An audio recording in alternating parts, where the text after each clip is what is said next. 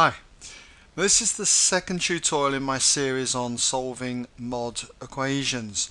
What I'm going to do is show you how we can solve equations of this form where we've got the mod of some function of x is greater than or less than the mod of another function of x.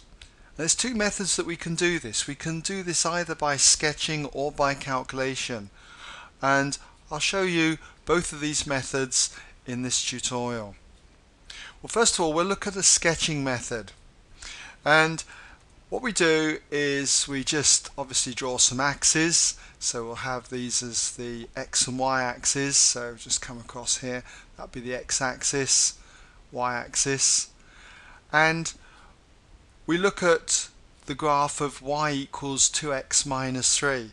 Now the graph of y equals 2x minus 3 is going to be a straight line graph, linear it's going to have a gradient of 2 and a y-intercept of minus 3. So in other words, it would be a line coming straight down through here at negative 3. But because we've got the mod round it, any negative values become positive. So our graph is going to look something like this. Coming down here, it would have gone through the minus 3, but it's reflected back and it comes up through the plus 3. So this is 3 here, okay? This value, if you want to know what it is, it's where 2x minus 3 equals 0, which will be at 3 over 2, or 1.5. So this is the graph then of y equals the mod of 2x minus 3. Now we need to draw the graph of y equals x plus 3 and then mod that. So if it didn't have the mod, y equals x plus 3 again would be a straight line graph.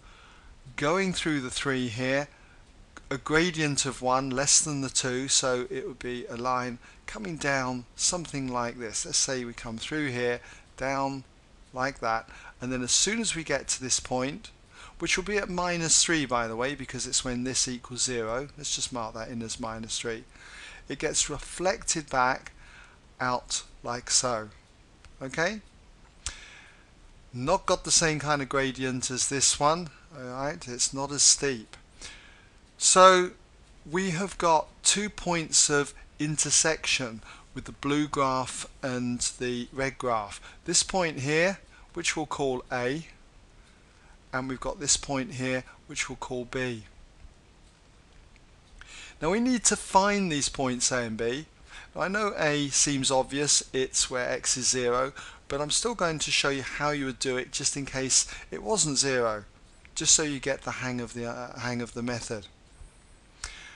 We're going to start with B though first, okay, just purely because I think it's possibly the easiest, but it's up to you which one you take. So we'll look at B. Now when it comes to finding the point B, we want the intersection of the red graph and the blue graph. But this part of the red graph this part here was the positive value of this the graph of 2x minus 3 remember if this was a line it would have carried on down to the minus 3 so we're looking at 2x minus 3 equaling the blue graph here this section down through here the positive section of this which would have been just x plus 3 and if we solve this by subtracting x from both sides and adding 3 to both sides, we get 2x take x gives us x and 3 plus another 3 gives us 6. So x equals 6. This point straight down here, let's just mark it in. If we were to come down here, this point here would be at x equals 6. Now for a, if we were looking at A, let's just put it here, okay. If we're looking at A, then we would want the intersection of this line here with this line here. Well, we already know that this blue line is x plus 3. And now, what about this section here?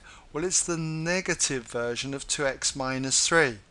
In other words, minus 2x plus 3. And if we were to solve for this, we would say add 2x to both sides, and that would give us 3x equals, and we'd subtract 3 from both sides, leaving us with 0. And that comes out, if we divide by 3, x equaling 0, which is, okay, what we knew for a, but that's basically how you'd go about working it out. Now that we've got our points A and B, okay, we'll put a naught here. To solve something like this, graphically, we're looking for where the graph of 2x minus 3, the mod of it, is above, greater than, above the graph of the mod of x plus 3. Where do we see the red graph for y values above the blue graph? Well clearly it's this section here, all the y values here are much higher than this section of blue values here.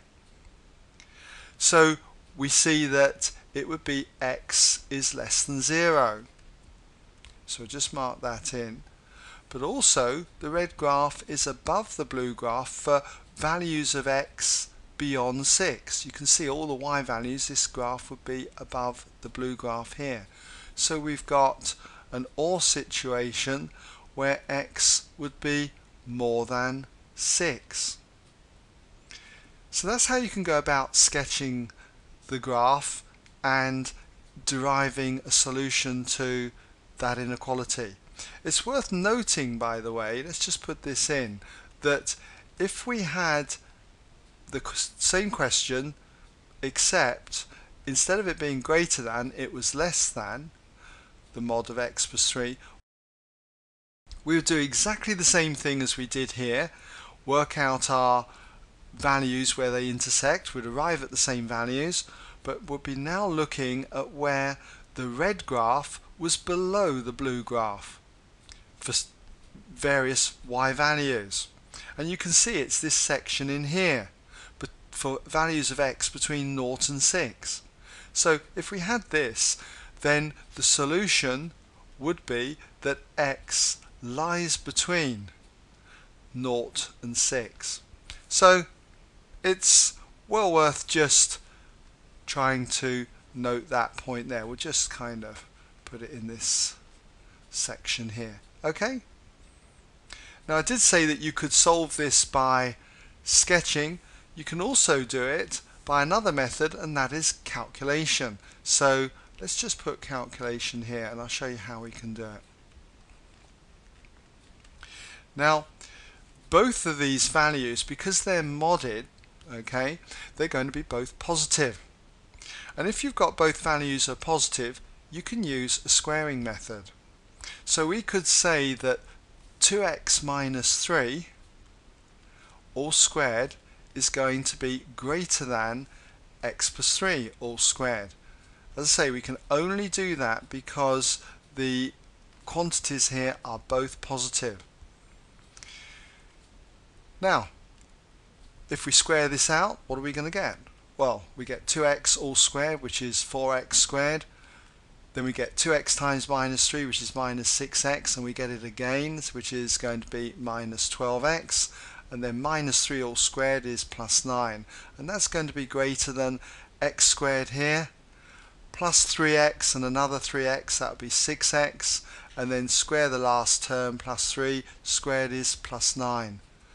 And if we now rearrange this, we've got a quadratic inequality so we need to make sure that we rearrange this and make it greater than 0 so we get 3x squared if we take x from both sides take 6x from both sides so you get minus 12x minus 6x which is minus 18x and then 9 minus the 9 well that's going to leave us with 0 so we've got that being greater than 0 now I notice that each term's divisible by 3. It's got a common factor of 3. So might as well take advantage of that and divide through by 3. So we get x squared minus 6x is greater than 0.